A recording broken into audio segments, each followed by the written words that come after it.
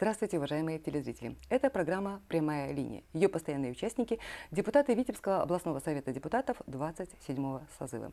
И сейчас я с удовольствием представляю свою сегодняшнюю собеседницу. Итак, знакомьтесь. Светлана Владимировна Одинцова, заместитель главного врача по амбулаторно-поликлинической работе Государственного учреждения здравоохранения Полоцкая центральная городская больница, заведующий Полоцкой центральной городской поликлиникой. И по традиции начнем мы нашу программу с краткого представления нашей сегодняшней гости гости. Смотрим.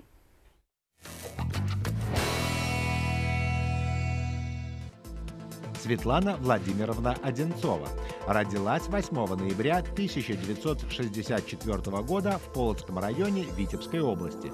После окончания школы поступила в Полоцкое медицинское училище, затем в Витебский медицинский институт, который окончила в 1992 году. 1994 окончила клиническую ординатуру по хирургии Витебского государственного медицинского института. В 1995 году защитила кандидатскую диссертацию. 1995 года врач-хирург по оказанию экстренной помощи хирургического отделения Полоцкой центральной городской больницы и до 1998 года заведующий хирургическим отделением Полоцкой городской поликлиники. Затем назначена заместителем главного врача по лечебной работе Полоцкой городской поликлиники. С 2001 по 2005 год главный врач Полоцкой городской поликлиники. С 2008 года и по настоящее время заместитель главного врача по амбулаторно-поликлинической работе Государственного учреждения здравоохранения Полоцкая центральная городская больница, заведующая Полоцкой центральной городской поликлиникой дважды избиралась депутатом Полоцкого городского совета депутатов. В 2014 году в третий раз стала депутатом Витебского областного совета депутатов. Была делегатом 2, 3, 4 и 5 Всебелорусского народного собрания.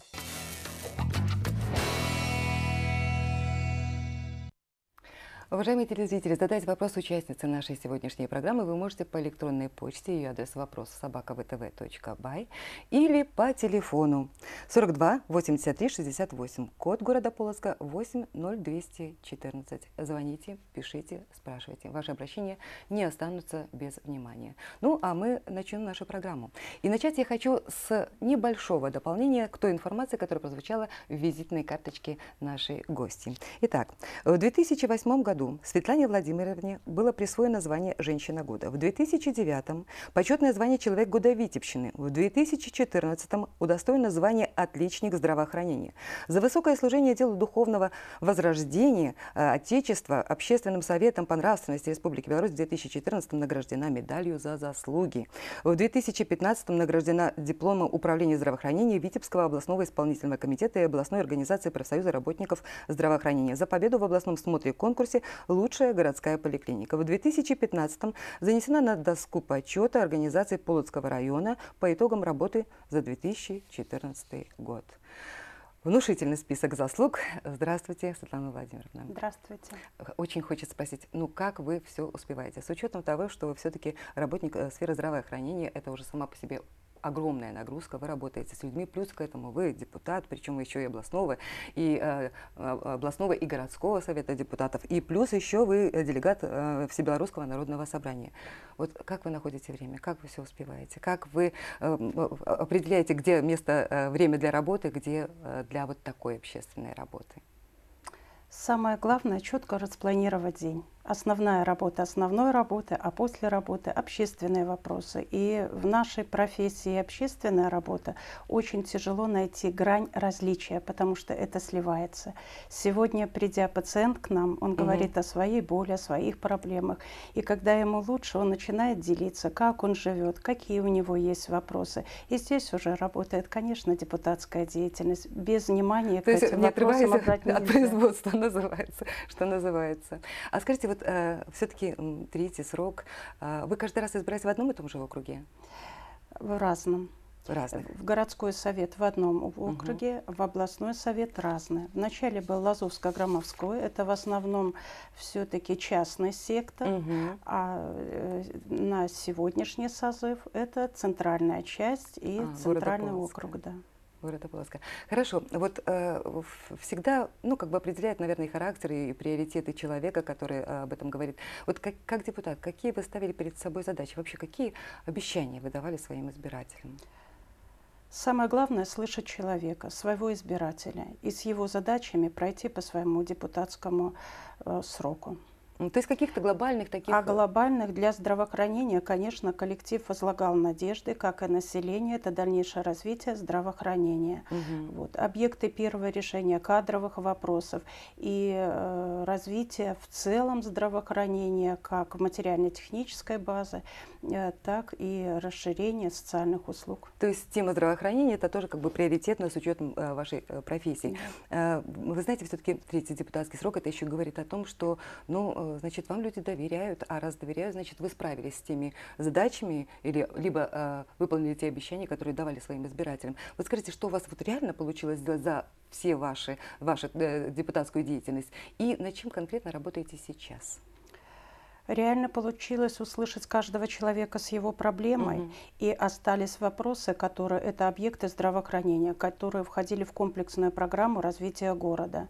Это объекты реконструкции художественной школы под э, объект здравоохранения, стоматологическую поликлинику и вовлечение в хозяйственный оборот бывшего здания, которое строился роддом. Угу.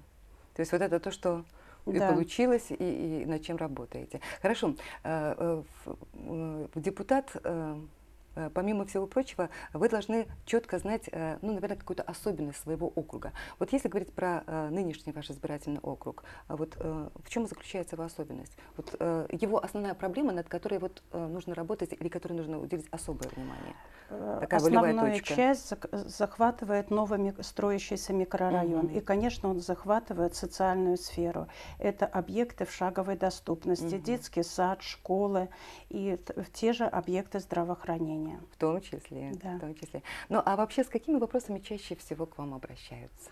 Они тоже разные. Угу. Если в первых созывах это частный сектор, это много вопросов было по содержанию дворовых участков, подъездные пути, вот, э, работа торговли, то в настоящее время это более основательное. Все-таки время диктует и свои вопросы. Это вопросы приватизации, налогообложения. Да, такая Отдельный тема. вопрос идет содержание животных, уход за животными, да, бездомные животные. Вот как бы ни казалось, С так такими вопросами обращаются тоже к депутату. Да. И вопросы социальные, те э, семьи, которые низкий социальный уровень, оказания им помощи. А вы знаете, я считаю, что сегодня еще такие очень острые вопросы вопросы, которые вышли на первый план, это э, проблема трудоустройства, демографическая ситуация, вот, в частности, вот, э, проблема трудоустройства или там задержка заработной платы. Вот к вам обращались или обращаются с такими вот проблемами людям? Беретесь вы помочь им? Значит, по задержке заработной платы не обращались, угу. хотя всегда э, как бы этот вопрос стоит остро. Угу. Сегодня исполнительная власть на каждом совещании для руководителей основная задача ставится. Это первое своевременная выплата заработной платы. Угу. Но ко, ко мне с такими вопросами не ну, обращались. Вопросы да. трудоустройства, они, конечно, есть. И текущие мы их решаем. А вы беретесь, да? Вот если да. вот человек приходит, да. ну вот все попробовал, больше ничего не получается, помогите. Вот как вы можете помочь как депутату? Ну, вот, как, какие я обращаюсь в фонд, э, фонд социальной защиты и труда, так угу. как я еще вхожу в состав работы наблюдательной комиссии. Вот, вот этот вопрос берется на контроль. И, конечно, где-то и в личном, может быть, у нас в учреждении угу. есть рабочие места. Ну и контакты где... налажены, да, с организациями, предприятиями да. города, что тоже немаловажно. Да. И есть возможность, что называется... Э, есть скажем, возможность помочь. Помочь, да. Ну, это здорово, да. Но я думаю, что еще вот все-таки э, вы представляете такую профессию, ну вот поэтому я думаю, что значительная часть обращений к вам все-таки это э, как э, э медицинскому работнику обращаются Безусловно. чаще всего, да, наверное? Безусловно. Хорошо. Вот, э, кстати, по этому поводу э, я хочу зачитать. У нас поступили э, по электронной почте вопросы, адресованные вам, и они как раз-таки к вам в большей степени относятся как представитель медицинской службы. Итак, наверное, в Витебске по-другому, но в Полоцке скорая помощь уже давно перестала быть скорой. Недавно пришлось ждать бригаду больше часа. Когда перезванивала на станцию скорой помощи, отвечали «ждите», выехали и бросали трубку. За это время можно было два раза туда и обратно пешком сходить. Разве так можно? У человека давление зашкаливает, а ему говорят «ждите». Чего? Инсульта? Сначала хотела написать жалобу. Ну, наверное, накажут э, кого-то одного. А толку? Ведь это уже стало системой. Вот такой замечательный вопрос. Целый рассказ. Вопрос критический но что это системой, я не могу с этим согласиться. Почему? Потому что реорганизация скорой помощи, она привела к тому, что запись э, вызова всегда приходит, проходит. И поэтому, если есть какие-то замечания, и на начало рабочего дня руководитель, возглавляющий скорую, он всегда прослушивает записи. И если вдруг есть какие-то недоработки, угу. организационно включается в коррекцию.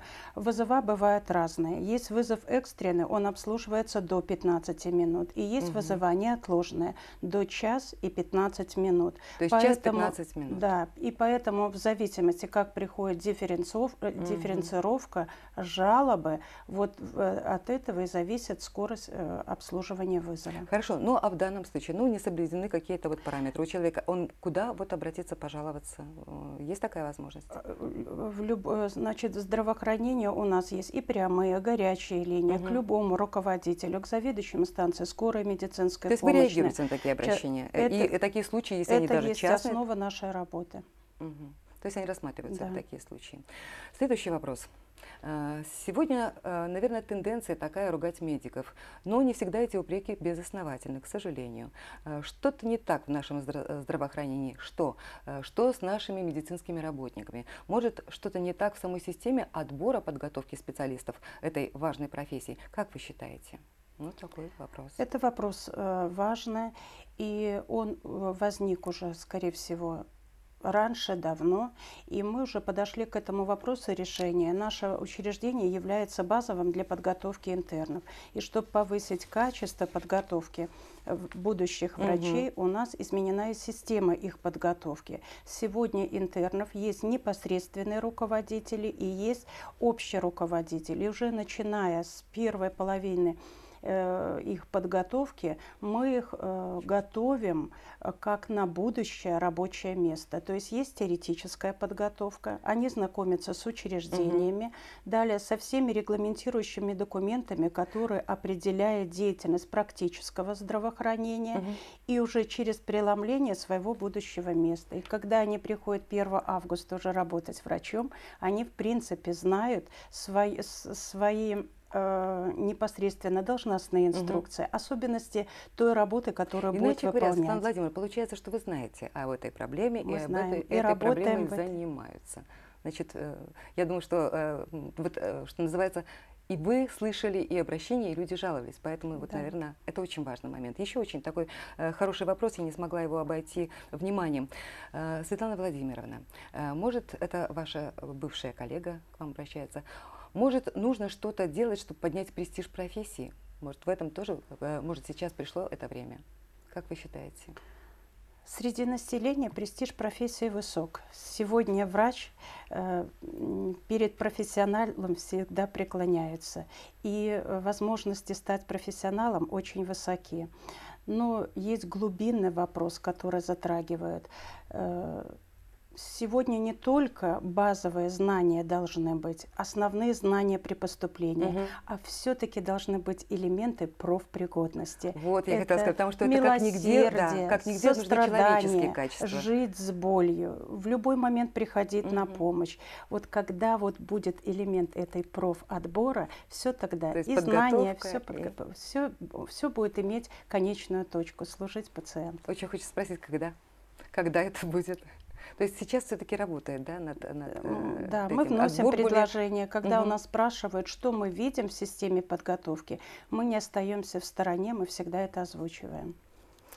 Э, мы на секундочку прервемся. Я должна напомнить, что, уважаемые телезрители, вы смотрите нашу постоянную программу «Прямая линия». И сегодня у нас в гостях на наши вопросы отвечает депутат от Полоцкого Центрального избирательного округа номер 25 Светлана Владимировна Одинцова, заместитель главного врача по амбулаторно-поликлинической работе Государственного учреждения здравоохранения Полоцкая Центральная городская больница.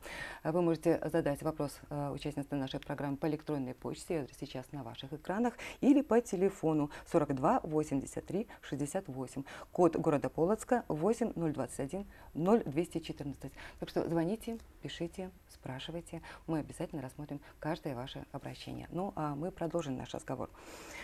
Эм, руководители всех уровней э, и ваши коллеги по депутатскому корпусу отмечают, что сегодня э, ну вот обращений стало значительно меньше, а из э, тех обращений, которые все-таки есть, львиная доля – это такие, знаете, вопросы, которые не решаются, наверное, уже десятилетиями, даже не годами. Это проблемы работы службы ЖКХ, это ремонт дорог и, и так далее. Вот как вы думаете, что у нас здесь не так? Почему вот, годами не решаются эти проблемы? Они решаются вопросы. И единственное, что текуще решив вопрос, угу. уже необходимо каждой службе свой вопрос э, довести до окончательного решения и выполнять не только во время обращения, а текуще, чтобы видели эти вопросы те, кто этим занимается. А они все на поверхности. Просто, наверное, еще и, что называется, идет время, и поступают новые и новые обращения, а тема такая животрепещущая. Хорошо. Э, мне очень э, тоже интересно, э, вот когда мы представляли вас и, скажем, все ваши регалии, вы являетесь делегатом второго, третьего, четвертого и пятого, значит, Всебелорусского народного собрания. В чем заключается вот ваша работа как делегата? Вот что это такое, ваша роль, функции?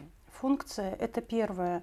Те вопросы, которые практически существуют, угу. принести их на это собрание. Там работает определенные... То есть вы можете поднять на республиканском уровне, уровне. Вот вопросы своего региона, да? да? То есть у вас есть да. такая возможность, как делегата. Да.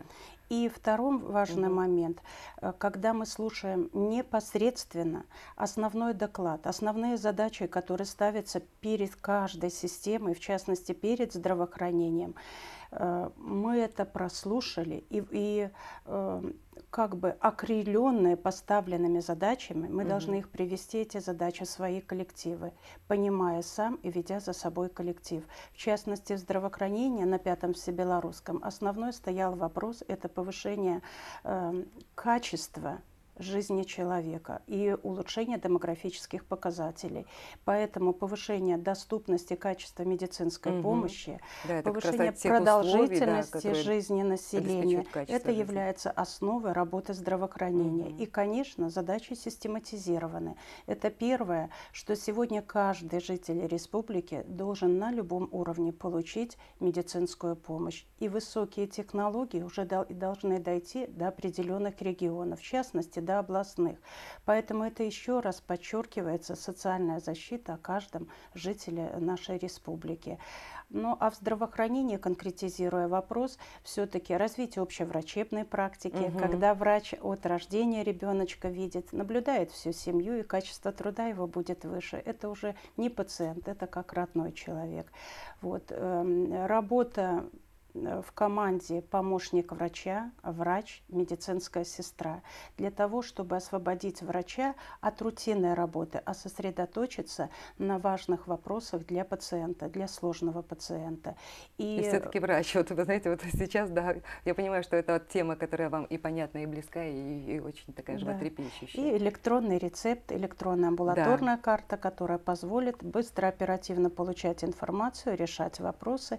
И, конечно, то время, время, которое будет высвобождаться, оно пойдет на реальную работу с пациентом, с его проблемами. Уже непосредственно, что за работу с человеком. Да. Тоже... И, конечно, вот с 5 Всебелорусского поставлена задача в строящихся новых микрорайонах э, создавать учреждения здравоохранения. Для меня этот вопрос очень близок. Угу. У нас э, э, новый микрорайон аэродром, и там нет медицинского учреждения. И, конечно, я как дело и депутата... Вы могли, этот, поднять этот вопрос на да, Строительство новой поликлиники. И что? То есть перспектива есть? Мы будем просто этим вопросом заниматься. Пока заниматься. Пока заниматься. Ну, тоже очень важно, что во всяком случае это уже стало вопросом, который рассматривают. Это тоже очень немаловажно. Вы знаете, другой, э, мне интересно, а как вы совмещаете депутатскую деятельность и вот эту э, э, работу, это ведь тоже большой, большой объем, большой фронт работы и ответственность э, быть делегатом э, Всебелорусского народного собрания?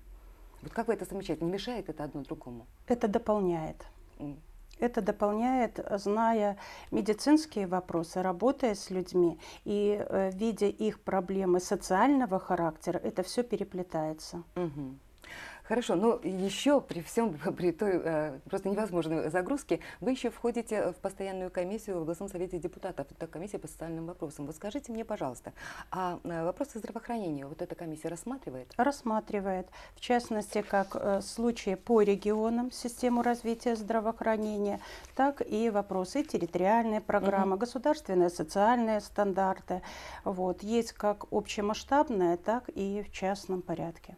Э, э, конкретно комиссия называется э, комиссия, постоянная комиссия по вопросам социальной сферы, социальной защиты граждан и делам молодежи. Вот, а скажите, вот какие-то приоритеты в работе этой комиссии есть или это такие социально значимые вопросы рассматриваются на определенном уровне, кто, скажем, более требовательно смог там предъявить какие-то поставить Нет, свои есть вопросы? плановая работа, есть план работы комиссии, которая план. выполняется, угу. да, и уже частные вопросы, это те, которые депутаты вносят вопросы и их рассматривают. А вот хорошо, вот как депутату, опять же, э, представляющий Полоцкий район, у вас есть возможность ну, вот на областном уровне воспользоваться вот этой возможностью, на областном уровне там, э, продвинуть решение именно своего вопроса, вопроса своего округа, проблемы Сво... решения? Безусловно. И, получается. Да. И особенно это идет ноябрь, декабрь, когда составляется бюджет на, двух, на, на последующие года, когда озвучиваешь самые наболевшие вопросы, которые требуют финансового подкрепления и, конечно, на областном областном уровне, чтобы этот вопрос увидели угу. и помогли в его решении. То есть тоже вот такая, скажем, возможность э, реально помогать своему округу, это тоже, по-моему, замечательно. Э, э, хорошо, ну а из, в работе комиссии, опять же, рассматривают и такие вопросы и темы здравоохранения. Вот как вы в целом, как представитель этой службы, оцениваете вот, ну, сегодняшнюю ситуацию в здравоохранении? И какой вопрос или проблему вы считаете наиболее сегодня острой в этой сфере? Сегодня в здравоохранение вложено очень много, очень крепкая материально-техническая база, освоены высокие технологии, э, укомплектовано с кадрами, решение кадрового вопроса. И поэтому сегодня есть один вопрос – это повышение качества оказания медицинской помощи, чтобы сегодня каждый находящийся, работающий понимал это. Угу. Э, хорошо. Э, в данном случае а частные вопросы. Вот э, если есть такие обращения, вот когда действительно вы без поддержки или помощи вот на более высоком уровне не обойдетесь своими силами, что называется, не справиться, вы можете поднять вот частные вопросы вот на областном уровне. Приходилось ли вам? Приходилось. Конкретно, да, конкретного человека, проблему решать конкретного да, человека на областном да, уровне. Да. То есть есть и такие случаи. А какой? Другого пути не может быть, потому что вопрос нужно решить.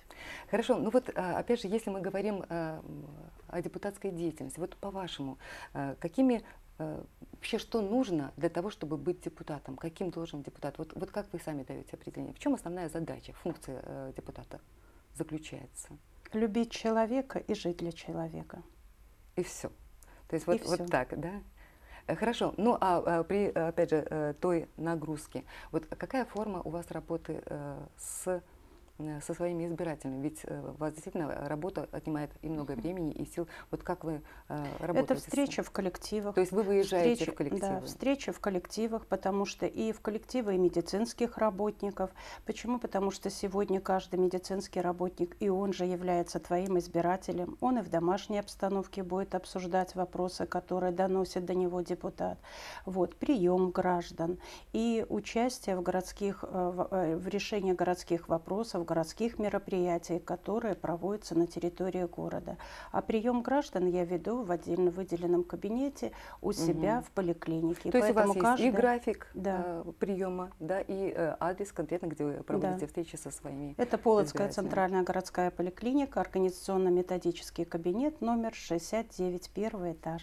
Угу. Мы всегда ждем своих избирателей для решения их вопросов. Э, скажем так, вот депутатский мандат. Что лично вам это дает? У вас э, стало больше полномочий, вы получаете добавку к заработной плате, э, имеете какие-то льготы. Вот скажите, что вам дает депутатская работа? Значит, все вышеперечисленное нет. Единственное, То есть нет, допол- нет, нет? дополнительные заботы и проблемы, которые есть и нужно решать. А хорошо, ну а как вот э, находить, вот все равно э, приоритет должен быть, да, вот э, своя основная работа и э, работа с избирателями. Вы говорите, что вы ездите по э, предприятиям, организациям. В данном случае э, это э, в свободное от работы время? Это э, свободное выходные? от работы время. Мгм. Это начинается после 17.00. Хорошо, но опять же, депутатские э, права, депутатские обязанности, э, вот э, полномочий у вас больше стало, вот, эм, э, вернее, какие полномочия у вас есть? Их достаточно для того, чтобы решать ну, какие-то ну, реальные серьезные проблемы? Достаточно. В общем-то, взаимодействие с руководителями всех организаций, это позволяет, в общем-то, решить все вопросы или, по крайней мере, выйти на путь их решения. Потому что есть вопросы, которые эм, долгосрочные. Мгм. Они для человека являются частным, наболевшимся, но нет возможности решить. И, конечно, подключается все хотя бы что-то минимизировать в решении данного вопроса. И эм, в памяти всегда остается тот, чей вопрос решился, например, на 30%. И пройдя там год-два, ты вспоминаешь, Ага. что сегодня у тебя эти возможности есть больше решить. Уже есть, да. И ты возвращаешься, находя, ты возвращаешься снова к своему избирателю. А вот скажите, вот когда к вам люди обратились э, с какой-то просьбой, вы взялись э, помогать, скажите, э, вы отслеживаете, вот как идет эта работа, то есть есть ли какой-то срок, чтобы человек получил ответ, или чтобы вот его проблема была решена определенный срок? Согласно всех регламентирующих документов по работе с обращениями граждан. А вот результат отследить я в своей практической деятельности, конечно, стараюсь увидеть, увидеть своими глазами, что этот вопрос решен. Почему? Потому что это доверие избирателя. Если мы сказали сегодня, мы решили, а вопрос решен половинчато, э, это, ну, это как и для избирателя плохо, так и для депутата. Хорошо, вот и э, опять же, лично для вас, вот ваше определение, вот скажите, для вас э, депутатская деятельность, это работа или это все-таки вот, ну, жизненная позиция, какая-то необходимость? Вот откуда это берется? Вас же никто не заставляет. Это образ жизни и жизненная позиция. То есть э, трудно быть равнодушным. Да. А, Мне остается только сказать, наше время подходит к концу, и э, я просто счастлива, что у нас была возможность вот пообщаться с вами, потому что, знаете, это здорово, когда у нас есть такие неравнодушные, э, скажем, инициативные люди, которые готовы прийти на помощь. Это все-таки и, и жить радостней и проще. Так что спасибо вам что за вашу работу, она действительно очень нужная. К сожалению, наше эфирное время подошло к концу. Спасибо вам за участие в нашей программе. Удачи, успехов, терпения и сил. Уважаемые телезрители, Хочу напомнить, что встретимся мы в рамках программы «Прямая линия» ровно через неделю. Спасибо вам за внимание, спасибо, что были с нами и оставайтесь с нами. До встречи, всего вам доброго, берегите себя.